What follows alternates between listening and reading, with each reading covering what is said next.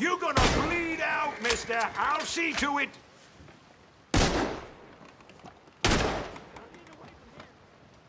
Shame!